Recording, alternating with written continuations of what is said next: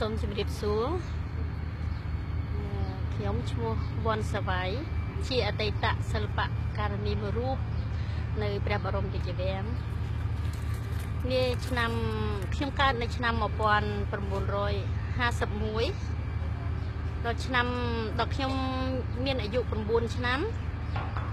ខ្ញុំចាប់ផ្ដើមចូលមកព្រះបរមរាជវាំងដើម្បីអឺមុនដំបូងគឺមើលការហាត់រៀនរបស់គ្រួសារ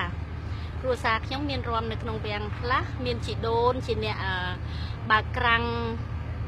អឺនៅក្នុងវាំងខ្លះហើយមកចូលមើលទៅពីនោះមកខ្ញុំក៏ស្រឡាញ់របាំខ្ញុំក៏មកហាត់រំជាមួយនឹងគេឯងទាំងអស់គ្នាហើយនៅក្នុងអឺពេលនោះខ្ញុំ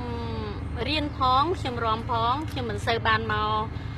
ហាត់រៀនរាល់ថ្ងៃធម្មតាគេមកហាត់រៀនរាល់ថ្ងៃតែខ្ញុំមកបានតែថ្ងៃពហុ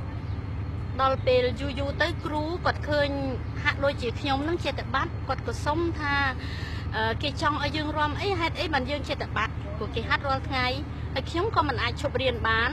ហើយដល់ក្រោយមកខ្ញុំក៏សម្រេចចិត្តថាបើខ្ញុំមិនរត់ចោលសាលាដើម្បីមកហាត់រាល់ថ្ងៃទេខ្ញុំមិនអាចខ្លាយទៅជាអ្នករំបានទេហើហើយយហ្នឹងអត់អស់អាយុប្រហែលអាចចូលគេដល់ចូលអាយុ9ឆ្នាំ4ឆ្នាំចាដល់អាយុអឺ 13ឆ្នាំដល់អាយុ13ឆ្នាំនឹងខ្ញុំចាប់ផ្ដើមមករត់ចោលសាលាខ្លះអីខ្លះដើម្បីមកហាត់រាំជាប់មែនតើណាហ្នឹងខ្ញុំរកហាត់បាន4ឆ្នាំដល់តែឆ្នាំទី5ហ្នឹងខ្ញុំនឹងអាចមានអឺលទ្ធភាពនឹងរាំជាមួយគេបានណាចាឆ្នាំ1965នឹងខ្ញុំចាប់ផ្ដើមទៅទូកនេជាមួយនឹងអឺ ក្រុមធំធំដែលទាំងហែបកូនណាទៅស្រុកចិនទៅស្រុកកូរ៉េអីហ្នឹងក្នុងឆ្នាំ1965ចាហើយបងគេបង្ហាត់តួអីបងមុនដំបូងខ្ញុំរាំជាតួភីលៀងព្រះអង្គម្ចាស់អឺសម្ដេចព្រះរាមបុប្ផាទេវីអឺអប្សរាដល់ពេលខ្ញុំត្រឡប់មកពីស្រុកចិនវិញអឺពេលនោះក៏ខ្ញុំមានអឺខ្ញុំមានឱកាសនឹងបានរាំជាតួអប្សរាហ្នឹងម្ដងម្កាល ជំនួសអឺព្រះអង្គម្ចាស់អឺសម្ដេចព្រះរាមបុប្ផាទេវីហើយនឹងជំនួសតួមួយទៀតឈ្មោះសេងស្រីមុំចាពេលពេលខ្លះអឺខ្ញុំជំនួសម្ដងម្កាលហើយខ្ញុំអឺកាលនោះយ៉ាណាហ្វូលោកឌីហ្គោលអញ្ជើញមកគឺខ្ញុំនឹងឯងដែលជាអ្នកអុចភ្លើងពីអង្គរវត្តយកមកយ៉ាណាហ្វូនៅស្រុកខ្មែរនឹងឆ្នាំ1965 ចាពីនោះមកខ្ញុំក៏មានដំណើរការជាតួអញ្ចឹងរហូតអញ្ចឹងទៅព្រោះពេលរំធំធំ បានសម្ដេចព្រះរាមលោករំចាហើយតួមួយទៀតដែលឈ្មោះសេងស្រីមុំនោះគាត់មានប្តីមានអីទៅនឹងជាពេលវេលាមួយដែលខ្ញុំមមាញឹកក្នុងការដែលធ្វើតួអប្សរានេះខ្លួនឯងចាចាប់ពីនោះមកខ្ញុំរំរហូតរហូតទៅទល់សម័យអឺឆ្នាំ1975ហ្មងណា ពេលអឺចំនួនខ្មែរក្រហមហ្នឹងក៏យើងចេញទៅជាមួយគ្នាជាមួយគេមួយឯងហ្នឹងទៅដល់តែឆ្នាំ1900គេជំនះទៅបាត់ដំបងខ្ញុំនៅស្រុកអឺក្នុងស្រុកភ្នំស្រុកណាហើយបងមានលក្ខអីថាបងជាអ្នកអឺរំជាអ្នកលក្ខលក្ខលាក់អញ្ចាប៉ុន្តែមានគ្នាគ្នាយើងដែលស្គាល់យើងលាក់មិនចិត្តមានគេទៅរាយការណ៍ដែរថាខ្ញុំជាអូតួឯកអីនៅវាំងអីអញ្ចឹងទៅ គេមកសួរខ្ញុំមែនគេសួរថាបងឯងពីដើមហ្នឹងអឺមិត្តឯងពីដើមហ្នឹងអឺអ្នករំហ៎អត់ហ៊ានឆ្លើយថាអត់ទេព្រោះដឹងថាមានមនុស្សរាយការណ៍ថាមែនខ្ញុំអ្នករំមែនបងឯងរំស្អីនិយាយត្រង់មកថាខ្ញុំរំនៅតាមវត្តតាមអីដែលពេលគេបុណ្យចូលឆ្នាំពេលបុណ្យហែតខិនអីខ្ញុំចេះតែតែងខ្លួនរំគេទៅណារំអឺអ្នកស្រុកគេរំអីខ្ញុំចេះរំនឹងតាមគេខ្ញុំអ្នករំមែនអា បានហើយទៅគឺចិត្តតែបន្លំខ្លួនអញ្ចឹងទៅបន្លំខ្លួនតែរហូតអញ្ចឹងទៅរហូតមកទល់ឆ្នាំ1979យើងទាំងអស់គ្នាវិលចូលមកស្រុកវិញពេលនោះខ្ញុំក៏ចាប់រំបន្តទៅទៀតដែរចាទល់ឆ្នាំ1000អឺពេលហ្នឹងបងបងចូលមកវិញវិញហ៎ចូលមកពេញពេញអើគេចាប់រំដដែលទៀតទល់1981 ហ្នឹងបានពេលហ្នឹងខ្ញុំមានបញ្ហាគ្រួសារដូចថា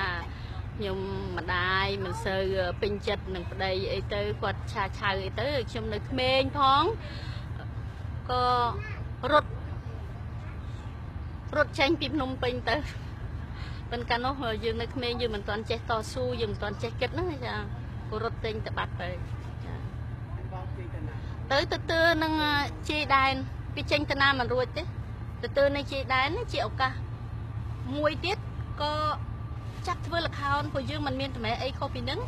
ចាប់ធ្វើលខោននៅតាមជ័យដែនឃើញក្មេងៗនៅ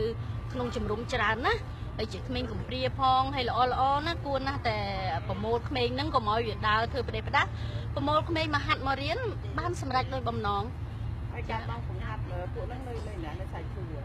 នៅមុនដំបងនៅជំរុំវាមានបែកខ្ញែកគ្នាច្រើនមិនទាន់ទៅជាសាយធូទេ នៅជំរុំអំពិលចានៅហើយជំរុំហ្នឹងមានជំរុំ6 7ជំរុំគេសិតតែមានសិល្បៈរៀនរៀនខ្លួនហើយខ្ញុំខ្ញុំដូចថាយើងមិនមែនចេះច្រើនជាងគេគ្រាន់តែយើងដឹងអឺយើងយើងដឹងពីសិល្បៈហ្នឹងប្រហែលជាវាគ្រាន់បើបន្តិចដែរក៏យើងមើលឃើញគេធ្វើខុសអីឆ្កងអីដែលគ្នាចង់ធ្វើដែរគ្នាធ្វើទៅវាមិនមិនស្រប តាមរបៀបដែលយើងចេះយើងជួយយើងជួយជំរុំដតីហ្នឹងជួយកែជួយខៃជួយអឺឲ្យយោបល់ថាធ្វើមិនធ្វើមិនប៉ុន្តែក្នុងការដែលយើងជួយជំរុំដតីមិនមែនជារឿងស្រួលទេមុនដំបូងម្នាក់ម្នាក់គេមិនដាក់គេមិនស្ដាប់យើងទេអាគេគិតថាគេធ្វើពីត្រូវប៉ុន្តែចំពោះយើងដែលដឹងថាគេធ្វើហ្នឹងវាមិនត្រូវយើងមិនចង់ឲ្យកម្លាយរបស់វប្បធម៌ហ្នឹងវាចិត្តតែคลายទៅយើងព្យាយាម ព្យាយាមអង្វរព្យាយាមលួងលោមដើម្បីឲ្យវាធ្វើឲ្យរបៀបត្រូវមកវិញទីបំផុតក្នុងរយៈពេល5ឆ្នាំបានខ្ញុំមានជោគជ័យក្នុងការប្រមូលជំរុំទាំង7ហ្នឹងមកធ្វើឲ្យវាទៅជាដូចដូចគ្នា គេក៏ទទួលស្គាល់គេក៏ធ្វើតាមយើងចាហើយក្នុងរយៈពេល5ឆ្នាំយើងគិតថាវាយូរប៉ុន្តែយើងស៊ូទៅដូចជាមួយផ្លែតអញ្ចឹងហើយខ្ញុំក៏សប្បាយចិត្តដែរព្រោះ គ្រប់ជំរុំទាំងអស់ហើយយើងរៀបចំរបៀបរបៀបគ្នាចាហើយជំនាន់ហ្នឹងបងបានបង្ហាត់ប្រហែលប្រហែលអ្នកទៅកូនទៅមានប្រហែលទេកូនសិស្សមានច្រើនកូនសិស្សមានច្រើនដែរព្រោះយើងអឺយើងរៀបចំជាលក្ខណៈធំអឺក្នុងជំរុំខ្ញុំផ្ទាល់ដែលជាជំរុំ7ជាជំរុំច្បងគេហ្នឹងខ្ញុំមានអ្នកធ្វើការជាមួយនឹងជាង100នាក់ ខ្ញុំអឺមិនដឹង100ប្រហែលនាក់ទេហើយកូនសិស្សហ្នឹងជាង200នាក់ព្រោះវាមានគ្រូបង្រៀនវាមានគ្រប់ប៊ីរ៉ូទាំងប៊ីរ៉ូរសៀកប៊ីរ៉ូដេញពាក់សូណែលអី treasury អីមានគ្រប់ទាំងអស់ចាហើយមានឃ្លាំងមានកូស្ទីមមានអឺអឺក្រុមបាសាក់មានក្រុមយីកេមានក្រុម folklore ក្រុម classic អីខ្ញុំហៅទាំងអស់ពីព្រោះអឺខ្ញុំអឺស្វាមីរបស់ខ្ញុំហ្នឹងគាត់ជាណែក៏ដែរ សិល្បករដែរគាត់ជាសាស្ត្រាចារ្យចេញពីសាលាវិចិត្រសិល្បៈចាមួយផ្នែកគាត់គឺគាត់មានជំនាញខាងអឺរបាំ folklore ចាមកយើងបូកបញ្ចូលទាំងពីរមកយើងអាចធ្វើបានទាំងអស់ចាទំហំទាំងអស់ដែលយើងធ្វើហ្នឹងកូនសិស្សវាអឺអាពើប្រែប្រហែលជា250នាក់ចាហើយពេលបងដូរជំរុំធ្វើមិនទៅដល់មកសាច់ធូពេលបដូរជំរុំហ្នឹងអឺពេលបដូរជំរុំម្ដងម្ដងអឺ ភាគច្រើនអឺកូនក្មេងកូនក្មេងខ្លះដែលអឺมันមានម្ដាយឪពុកអឺឬក៏មានតែម្ដាយអត់ឪពុកមានឪពុកអត់ម្ដាយដែលគ្នាមានការលំបាកគ្នារត់តាមខ្ញុំចាហើយខ្ញុំទទួលយកទាំងអស់អ្នកណាដែលមានការពិបាកខ្ញុំទទួលយកទាំងអស់ពីព្រោះខ្ញុំអាចមានលទ្ធភាពនឹងទៅសុំទៅសុំអង្គការសុំជាអង្គយើងពេលនោះគេអត់ប្រាលុយទេអូនក៏ជ្រាបដែរយើងមិនមានសិទ្ធិប្រាលុយទេសុំអង្គយកមកដើម្បី បបរឬក៏ដាំបាយឲ្យញ៉ាំសុំបន្លែសុំត្រីខគេយកមកចិញ្ចឹមក្មេងហ្នឹងហើយគេឃើញយើងថាយើងអោបក្មេងមែនយើងអោបក្មេងមកក្រុមមកក្រុមមែនគេមិនមែនមិនឲ្យយើងព្រោះគេឃើញនឹងភ្នែកគេឲ្យខ្ញុំគេឲ្យអឺដូចថាសំណងក៏គេឲ្យធំអង្គឬក៏ស្បៀងក៏គេឲ្យធំដើម្បីខ្ញុំមានលទ្ធភាព ក្រុមក្មេងហ្នឹងអ្នកដែលរត់តាមហ្នឹងអាប្រើប្រែថា100អ្នកដែរពេលរត់តាមពួកអ្នកខ្លះគេមានម៉ែឲ្យគេគេទៅតាមម៉ែឲ្យគេប៉ុន្តែពេលយើងទៅដល់ផ្លាស់ដល់ជំរំសៃធូអ្នកដែលគេនៅជាមួយម៉ែឲ្យគេហ្នឹងក៏គេវិលមកជុំគ្នាមកហើយយើងនៅតែមានគ្នាច្រើនដដែលហើយបងនៅសាច់ធូដល់បានប្រហែលទាំងអឺមុនសៃធូទាំងនៅសៃធូអស់រយៈពេល10ឆ្នាំចាប៉ុន្តែ10ឆ្នាំសម្រាប់ យើងដែលសប្បាយចិត្តក្នុងការធ្វើយើងមានរបស់របស់យើងធ្វើ10ឆ្នាំដូចជាមិនយូរដូចជាមួយផ្លែកសម្រាប់សម្រាប់យើងដែលយើងរវល់ណាចាភ្លេចភ្លេចវិជាសិប10ឆ្នាំប៉ុន្តែ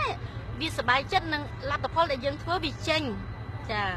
អឺខ្ញុំជឿថាអូនក៏ឃើញខ្លះខ្លះដែរថាយើងសប្បាយនឹងលទ្ធផលរបស់យើងចា ហើយដល់ពេលគេគេនាំមកចូលស្រុកខ្មែរធ្វើម៉េចទៅពីអំពីសំភារៈឧបករណ៍ក្មេងអ្នករំអ្នកអីធ្វើម៉េចទៅអឺមានពេលនោះអឺនៅក្នុងជំរំ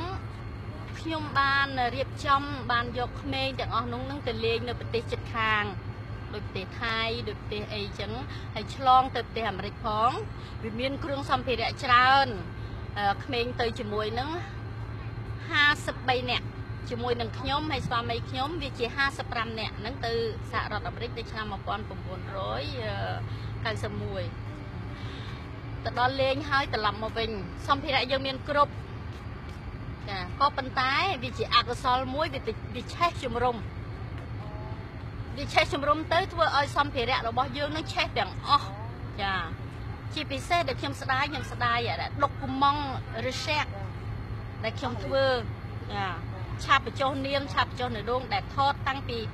A jusqu'à Z ហើយធ្វើដេតាយស្រាច់រៀបសភៅស្រាច់ប្រុងនឹងបោះពុំអស់លីអស់លេងវាឆេះហ្មងចាដល់ហើយអញ្ចឹងទៅយើងក៏ពេលយើងមាតុភូមិនិវត្តន៍មកស្រុកវិញចាខ្ញុំមកតែដៃទៅទេព្រោះវាឆេះអស់ចាហើយមកដល់នេះខ្ញុំក៏បានយកកូនសិស្សទាំងអស់របស់ខ្ញុំនឹងគិតថាយើងមកដល់ស្រុកយើងហើយ យើងត្រូវតែរួបរวมគ្នាជាមួយនឹងអ្នកក្នុងនេះដើម្បីបម្រើសិល្បៈវប្បធម៌តទៅទៀតខ្ញុំបានបំបែកសិស្សរបស់ខ្ញុំជាច្រើនក្រុមខ្លះយកទៅចូលនឹងសែងគីមបេរ៉ូចាចាហ៊ានខ្លះក៏ចូលសាលាខ្លះក៏ចូលអឺនាយកដ្ឋានចាហើយមាននៅសិស្សខ្លះទៀតដែលមកដូចថាគ្នាមានគ្រួសារគ្នានៅតាមខេត្តអីគ្នាក៏ធ្វើនៅតាមខេត្តហ្នឹងទៅចូលលខោនប្រសាក់ចូលនេះចូលនោះតាមខេត្តទៅហើយក្មេងខ្លះ ក៏គេមកដល់ស្រុកនេះគេមានគ្រួសារគេនៅអាមេរិកគេក៏ឆ្លងទៅអាមេរិកវិញចាឥឡូវហ្នឹងកូនសិស្សខ្ញុំហ្នឹងវាបាច់សាច់ពេញទៅស្រុកហ្នឹងនៅសឹងគ្រប់កន្លែងហ្នឹងចាមិនបានអឺមូលផ្ដុំដូចមុនទេព្រោះខ្ញុំគិតថាมันចាំបាច់មូលផ្ដុំអីទេបើយើងមកដល់ស្រុកយើងហើយយើងបំបែកទៅនៅជាមួយអ្នកណាក៏យើងបំរើសិល្បៈដូចតែគ្នាអ្នកណាកាន់ក៏ដូចតែគ្នាមកហើយយើងចែកគ្នាអញ្ចឹងទៅធ្វើការទាំងអស់គ្នាទៅហើយអឺនៅខ្ញុំក៏ ឆ្នាំ1900អឺ97ហ៎ចាក៏ខ្ញុំបានទៅប្រទេសបារាំងចាពេលនោះខ្ញុំក៏បានរស់នៅទីនោះចាចាដើម្បីឲ្យកូនបានរៀនសូត្រផងអីផងអញ្ចឹងទៅខ្ញុំនៅទីនោះជាជាងពេលទំនេរនៅទីនោះចាខ្ញុំក៏គិតថាជីវិតខ្ញុំជាជីវិតសិល្បករមិនដឹងជាធ្វើអ្វីឲ្យប្រសើរជាជាងសិល្បៈទេ មានតែម្យ៉ាងគឺ ជួយសិល្បៈបន្តទៅទៀតហើយអឺល្អដែរនៅស្រុកបារាំងគេមានអឺសមាគមគេច្រើនសមាគមច្រើនគេធ្វើសិល្បៈរៀងរៀងៗខ្លួននៅតាមអដែងអឺសង្កាត់របស់គេមួយមួយអឺពេលដែលខ្ញុំទៅដល់អឺសមាគមអស់នោះគេហាក់ដូចជាគេស្គាល់យើងស្រាច់ហើយចាហើយគេក៏សុំឲ្យយើងទៅជួយនៅសមាគមចាសមាគមមក7 8ឯងប៉ុន្តែมัน នៅសុប្រាំងខ្ញុំមិនមានលទ្ធភាពទៅបង្ហាត់ទាំងអស់បានណាក្នុងអឺក្នុងមួយអាទិត្យយើងរៀនកូនសិស្សរៀនហើយនឹងធ្វើការដូច្នេះយើងមានតែថ្ងៃអាទិត្យនិងថ្ងៃថ្ងៃសៅរ៍សៅរ៍ទេចាខ្ញុំក៏ឆ្លៀតពេលព្រឹកថ្ងៃសៅរ៍បង្ហាត់សមាគម BCK ល្ងាចថ្ងៃសៅរ៍បង្ហាត់សមាគម Cabaret des Oiseaux ព្រឹកថ្ងៃអាទិត្យបង្ហាត់សមាគមសិល្បៈខ្មែរល្ងាចថ្ងៃអាទិត្យមកបង្ហាត់អឺសមាគមអឺអរុណោតីជាមួយនឹង BCK ចាហើយមានសមាគមឥឡូវហ្នឹងវាមានសមាគមដែលញ៉ាអឺបុរាណនោះគ្នាសុំហាត់ដែរសុំឲ្យខ្ញុំទៅជួយខ្ញុំអត់មានពេលជួយមានអឺអនុគ្រោះគ្នាសុំអញ្ជើញគេមកហាត់ ជាមួយនឹងបេសិកានៅផ្ទះខ្មែរចាយើងអឺប្រមូលគ្នាមកហាត់អញ្ចឹងទៅហើយអ្នកណាចេះអីយកទៅបំរើសមាគមខ្លួនឯងរៀងរៀងខ្លួនចាក្នុងគោលបំណងតែម្យ៉ាងគឺឲ្យសិល្បៈវប្បធម៌របស់យើងគង់វង្សនៅស្រុកគេ បង្ហាញកូនខ្មែរនៅស្រុកគេឲ្យដឹងថាខ្លួនឯងមានសិល្បៈដែរព្រោះអឺក្មេងៗនៅស្រុកបារាំងមានក្មេងខ្លះគេស្រឡាញ់សិល្បៈណាគេចង់ហាត់គេចង់ចេះគេចង់ដឹងពីវប្បធម៌របស់គេ អឺជាឱកាសមួយល្អសម្រាប់យើងដែលយើងបង្ហាញគេជាមួយនឹងពេលដែលយើងរក្សាវប្បធម៌របស់យើង នៅពេលដែលយើងទំនេរចាมันចង់យកពេលវេលាទៅធ្វើអ្វីផ្សេងជាជាងដែលយើងរក្សាវប្បធម៌របស់យើង ជានេតិរបស់យើងស្រាប់ចាហើយជិះធ្វើធ្វើយ៉ាងម៉េចបានទៅហើយអឺ ខ្ញុំឆ្ងល់ធ្វើយ៉ាងម៉េចបានមកជួបម្នាក់នេះអឺឈ្មោះណុយគេហៅវិនអមរិតមិននៅចែកហៅណុយចាចាសូសូមជម្រាបថាណយវើនអមរិតនេះជាមិត្តភ័ក្តិតាំងពីទូចទូចនៅក្នុងវាំងជាមួយគ្នាទទួលទៅពេលដែលខ្ញុំទៅនៅប៉ារីហ្នឹងខ្ញុំជួបគាត់ហើយជឿណុយណុយអឺចាប់ចាប់រងពីពីពីអាយុប្រហែលអឺ ខ្ញុំចាប់អារម្មណ៍តាំងពីអាយុអឺពីដណ្ដប់ឆ្នាំធំហើយដែរបានចាប់អារម្មណ៍ពីព្រោះអីហើយហ្នឹងចូលទៅរកមួយគេហ្នឹងអឺព្រោះអីស្រឡាញ់មុនដំបូងទៅតាមម្ដាយព្រោះម្ដាយខ្ញុំបានចូលទៅបង្ហើនឹងសម្ដេចមហាសេដ្ឋយ៉ាងនេះនៅពេលនោះខ្ញុំទៅតាមម្ដាយម្ដាយកំឡោះហើយក៏ដេញទៅឃើញគេរំនៅអឺនៅក្នុងវាំងហ្នឹងទៅក៏ចេះចាប់ចិត្តស្រឡាញ់ហើយម្យ៉ាងទៀតបានចូលហែនឹងអឺ គេដេញអង្គចាស់អឺភក្តាលហើយនឹងអង្គចាស់ផ្លាស់ពីឌូហើយនឹងអស់នឹងម្ល៉េះហើយពោបានចូលទៅហាត់រៀនមិនមិនមែនជាហាត់រៀនដើម្បីយកជាអឺជានឹងមុខមុខរបររបស់ខ្លួនទេគឺគ្រាន់តែជាដេញ amateur បើណាដូចជាអូយើដូចខ្ញុំទៅលេងលេងកីឡាខ្ញុំក៏ចូលទៅហាត់លេងរាំតែប៉ុណ្ណាដើម្បីលេងបាទដើម្បីខ្ញុំសាបានទឹកប្រហែលដងអឺ ក្នុងខ្ញុំទៅហាត់គឺខ្ញុំហាត់អឺក្នុងអាទិត្យម្ដង គឺថ្ងៃពហុដែលជាថ្ងៃសំខាន់ គឺជាថ្ងៃសំពះគ្រូបាទឡាដើម្បីជាពេញអឺជាថ្ងៃធំបំផុតពីព្រោះអីសម្ដេចហាត់យ៉ាងនេះលោកលើកយកថ្ងៃពហុហ្នឹងដើម្បីឲ្យអ្នកមកទៀតគេមកហាត់ជាធម្មតាហ្នឹងដើម្បីសំពះគ្រូហើយហាត់បាទហាត់ មិនមិនបានហាត់វាតិចតួចណាស់ចំពោះខ្ញុំគ្រាន់តែជាហាត់ជាកំសាន្តផងហើយដើម្បីជាកំដរចិត្តរបស់ខ្លួនផងដែលខ្លួនស្រឡាញ់នឹងរបាំខ្មែរនឹងបាទហើយចឹងមិនបានជួបបងសវាយនៅសំពាំងដែរនឹងហើយរួចហើយបាន ជួបគ្នានឹងហើយដល់ស្រុកប្រាំងក៏កាន់ដៃគ្នាអឺដើម្បីដែលធ្វើសិល្បៈនឹងតទៅទៀតទៅមកឡើប៉ុណ្្នឹងទេប៉ុន្តែអឺខ្ញុំចាប់ហាត់នោះក៏វាហាត់អឺបានមើលចាប់ហាត់ពីអឺឆ្នាំ1968ខ្ញុំបានចូលឃើញទេមួយហើយបានខ្ញុំចេញពីដេញអឺ ចេញដើម្បីចេញទៅដេញអឺនឹងចេញនឹងចាប់ហាត់រហូតដល់ពី1968រហូតដល់1975បានខ្ញុំចេញទៅសក្ការៈហើយគឺចេញមុនពុនពេញធ្លាក់ហើយម្យ៉ាងទៀតក្នុងរវាងដេញអឺពី1968រហូតដល់1970ដេញទម្លាក់អឺ ភ្នំពេញហើយបានអឺទៅជាស្រុកយើងទៅជាដេញអឺនៅសាធារណរដ្ឋហ្នឹងពួកខ្ញុំហាត់បន្តទៅទៀតដែរក៏ខ្ញុំបានចូលទៅអឺខាងធ្វើធ្វើធ្វើទាហានហើយចូលទៅក្នុងសង្ឃាមរោខាងសាវីសិល្បៈកដែលអង្គើជាតិដែរក្នុងសង្ឃាមរោរហូតដល់ឆ្នាំ1975បានខ្ញុំទៅស្រុកនៅស្រុកបារាំងហើយឮថា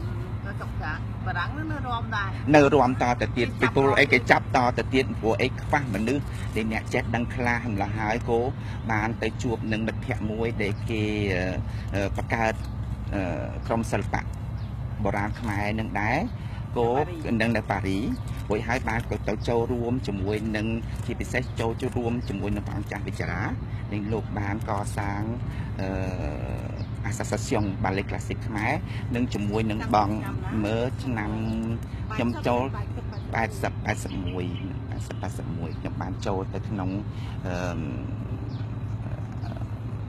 ខាងលេង Ballet Classic ខ្មែរនៅ80